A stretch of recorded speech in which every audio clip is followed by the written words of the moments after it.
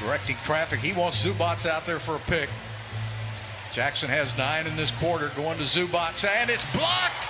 Oh, how tall is Zubac, Matt? He's seven foot. Add him to the list. Add him to the block party. KJ Martin having a block party this year. He gets Zubac now. He's blocked all the seven footers in the league, and he gets Zubac. That's another seven footer. They got him listed at least. We're going to call it that. Every it all.